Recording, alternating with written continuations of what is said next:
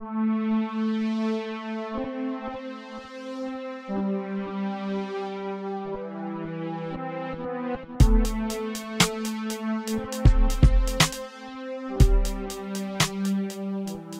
there, Joe Techie back again to do another review. Uh, today we're going to be talking about the Anker Smart keyboard case uh, for the iPad Air 2.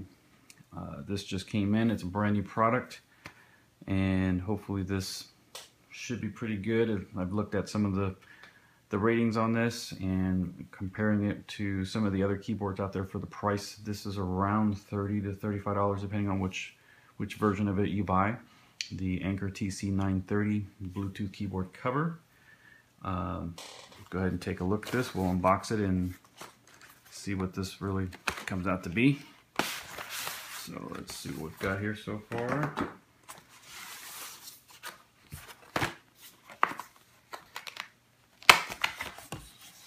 All right, we got the keyboard, naturally.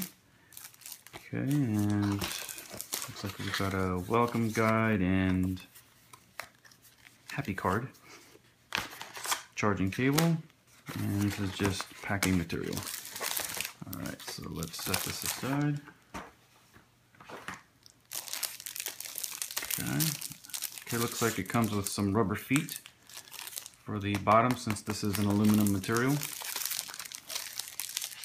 That will come in handy so that way you're not scratching up the bottom of the actual case itself, the keyboard case.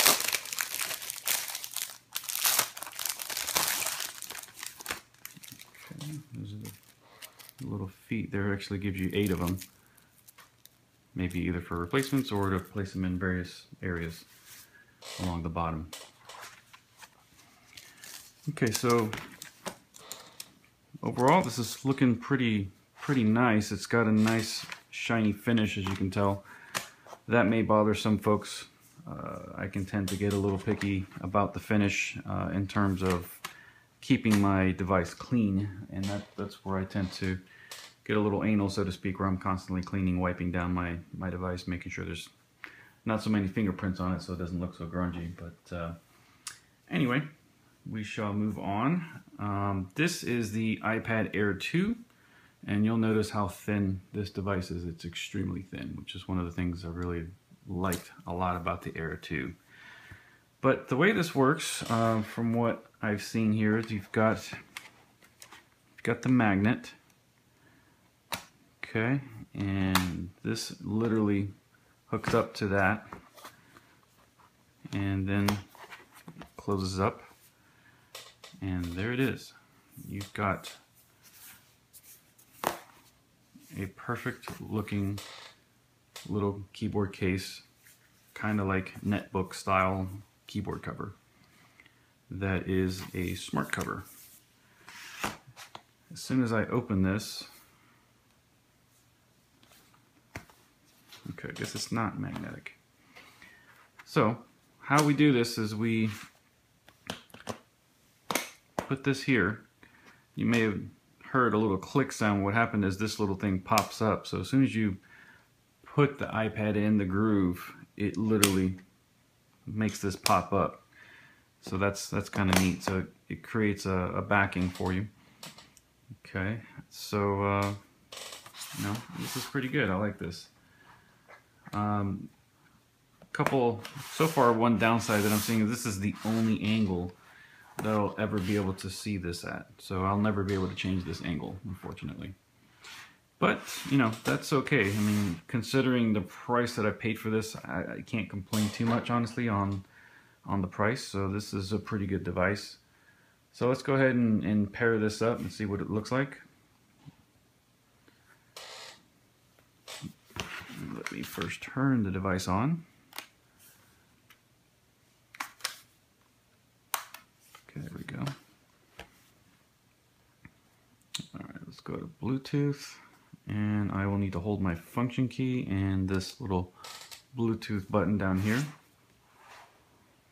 And here we go, it shows up here as a device. And now it wants me to enter a code. So 2138 and enter. And we are now paired. So uh, to start using some of the function keys uh, or some of the keys across the top here, like for example the home button, I would hold down the function key and that will take me back home. Okay, uh, so same with all the others. So we have your brightness. Uh, I can actually make the uh, keyboard come up. So let's see. Let's just go to apple.com. If I could just type correctly, that might be a good start. Okay, so that's working pretty good. Uh, let's see, so we've got here you can actually switch between keyboard mode and touchscreen mode. That's what this button's for. You've got your copy and paste functions, uh, different keyboard shortcuts like here, that's for your internet, your rewind, play, pause, fast forward, your your up volume, lower mute rather, change your volume controls here, and this will lock the device. Uh, so this is pretty good. I mean, it, the keys feel really nice. I like it. Uh, sounds it's not, it doesn't sound too clanky for you know a low profile keyboard. It's very thin. Um, I mean, just just this alone, I mean that that's pretty pretty thin. That's pretty remarkable that they're able to make these this thin nowadays. But uh, this looks pretty good. So close this back up. Looks like I've got some extra material I need to remove from here. And look at that, it actually does wake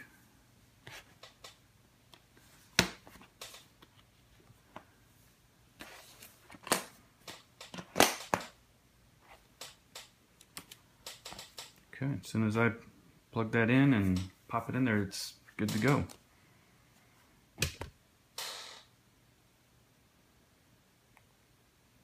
One other quick thing to note on this device is that uh, you know, one of the downsides to this particular model keyboard is that uh, the back is open and exposed so therefore you you know slip it into your bag or your book bag or whatever the case is uh, it is going to be prone to dinging up the actual back of your iPad, which is one of the things I don't like about this case.